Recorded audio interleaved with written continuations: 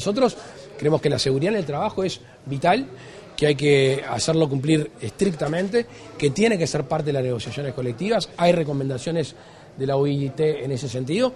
Y en nuestra agenda de gobierno, si van allí a la parte de relaciones laborales, desde el principio eh, instalamos la necesidad de mejora de los lugares de trabajo, de mejora de la seguridad, inclusive con algunos incentivos y estímulos para aquellos que cumplan con, todas las normas. O sea, una cosa es el fin último que compartimos, yo comparto con Andrade, no te quepa la menor duda, eh, eh, este instrumento nosotros creemos que, tiene visos de inconstitucionalidad, por eso nos parece lógico que si no lo votamos y, es inconstitucional desde nuestro punto de vista hay que ser coherentes. Pero la práctica, es decir, se ha aplicado y se está aplicando.